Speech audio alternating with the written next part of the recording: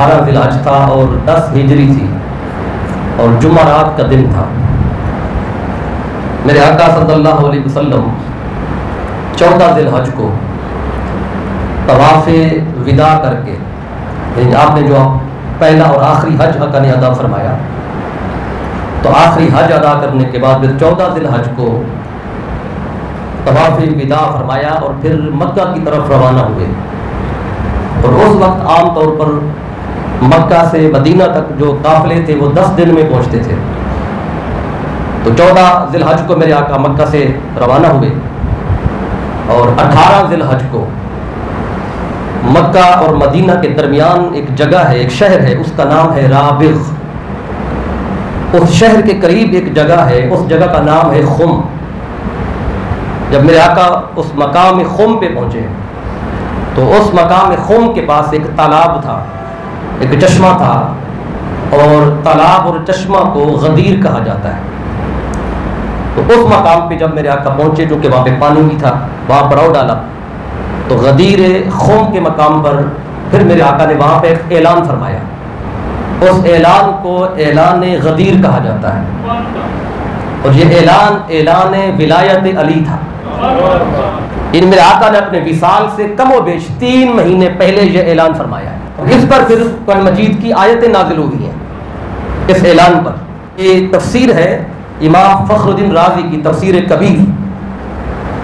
उसमें सूरह मायदा की आयत नंबर सतासठ के हवाले से इमाम फखरुद्दीन राज़ी ने लिखा है। इसको इमाम वाहिदी ने अपनी तफसीर असबाब नजूल में भी लिखा है। फिर इमाम सयूती ने इस ऐलान को दुर्रुल मंसूर में लिखा है। फिर इमाम आलूसी ने इस बात को रूहुल मानी में लिखा है। इमाम शौकानी ने फतहुल कदीर में लिखा है। ये बड़े आला दर्जे के मुफसर हैं कि या रसूल बल्लिग मा उनजिला इलैका मिर रब्बिका। अल्लाह ने फरमाया, ए मेरे रसूल सल्लल्लाहु अलैहि वसल्लम, जो आपकी तरफ़ नाजिल हुआ है, वो आप अपनी उम्मत को बताएँ। जब ये आयत नाजिल हुई तो इमाम राज़ी कहते हैं कि नाजलतिल आयत फ़ी फजल अली इब्न अबी तालिब। कि ये आयत मौला अली शेर खुदा की शान और फजीलत में उतरी है। और जब ये आयत नाजिल हुई, वलम्मा नजलत हाजिल आयत तो आखदा बेयादेही उस वक्त मेरे आका ने मौला अली का हाथ पकड़ा। वकाला और हाथ पकड़ के आका ने फरमाया, मन कुन तो मौला हो फलीजुन मौला हो जिस जिसका मैं मौला हूँ, उस उसका अली मौला है। अल्लाहुम्मा वालिमन वाला हो व आदिमन आदा हो बरी ताला जो अली को अपना महबूब रखे, तू उसको महबूब रख। और जो अली से दुश्मनी करे, मेरे मौला, तू उससे दुश्मनी कर। और फिर जब ये आका ने ऐलान किया तो फला किया उमर तो उमर बिन खत्ताब रज़ी अल्लाह तआला पास मौजूद थे। ये जब ऐलान सुना तो वो गए और जाकर मौला अली से मुलाकात की। और मौला अली से मिलकर जाके क्या कहते हैं? फकाला हनी लका, यबना अबी तालिब। कहते हैं अबू तालिब के बेटे आपको मुबारक हो कि आपके बारे में अल्लाह ने यह ऐलान करवाया है। यह मुबारकबाद दी जाके। और सिर्फ़ मुबारक भी नहीं दी बल्कि आगे कहते हैं असबहता मौला या आज के बाद आप मेरे मौला हैं। वह मौला कुल्ले मोमिन व मोमिनतिन सिर्फ़ मेरे ही नहीं हर मोमिन के भी आप मौला हैं हर मोमना की के भी आप मौला हैं। सूरह मायदा कहते नंबर तीन इसमें अल्लाह फरमाता है अल यौम अकमल तो लकुम दीनकुम। मैं आज के दिन मैंने तुम्हारे लिए तुम्हारा दीन मुकम्मल कर दिया। अब इसका शान नजूल क्या है? कौन सी बात थी जिस पर अल्लाह कहता है, आज दीन पूरा हो गया है? दीन मुकम्मल हो गया है। वो लोग जो इस ऐलान विलायत को हल्का सा लेकर अठारह दिन हज को ज़िक्र ही नहीं करते, और ये ऐलान आगे बताते नहीं, बस इतनी बात ठीक है जी। बात तो इस हदीस की सेहत पे बात करने लग गए आज। कहने लगे कि ये हदीस ठीक नहीं है माजल्ला दईफ है, फलान है, और मेरे पास इस वक्त इसके पचास हवाले मौजूद हैं। और इस हदीस को बयान करने वाले एक सौ छियालीस सहाबा कराम के नाम भी मौजूद हैं। और इसको जो बयान करने वाले हैं ये खतीब बगदादी ने इस बात को तरीके बगदाद में लिया। इमाम तबरानी ने इसको मोजमुल औसत में बयान किया। इमाम वाहिदी ने असबाबुल नजूल में लिया। इमाम राज़ी ने तफसीर कबीर में लिया। इब्न असाकर ने तारीख दमश्कल कबीर में लिया। फिर इमाम सयूती ने दुर्रुल मंसूर में लिया। अब ये सारे मुफसर भी हैं वक्त के मुहदस भी हैं। ये सब बयान करते हैं कि अन अबी हुरैरा रज़ी अल्लाह काला। हत अबू हुरैरा रज़ी अल्लाह तआला कहते हैं, काला, मन साम योम समान अशरा मिन जिल हिज्जा कुतिबा लहु सियाम सिद्दीन शहरन।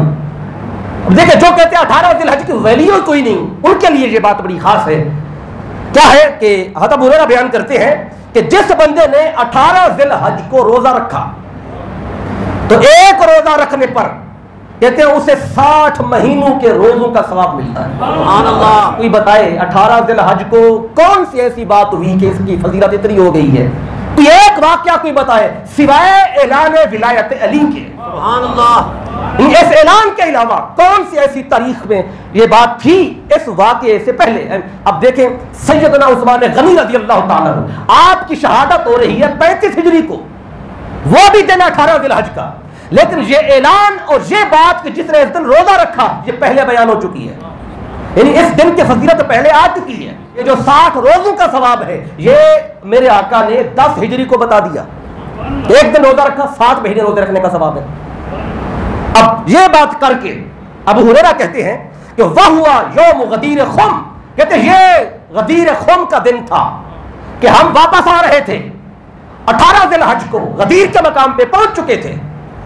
नबी बेयाद अभी तालिब, जब मेरे आका ने अली शेर खुदा सलाम का हाथ पकड़ के बुलंद किया और बुलंद करके आका ने हाथ फिर फरमाया फकाना सल्लल्लाहु अलैहि वसल्लम मोमिनीन ए ईमान वालों, बताओ, क्या मैं तुम सबका वली नहीं हूँ?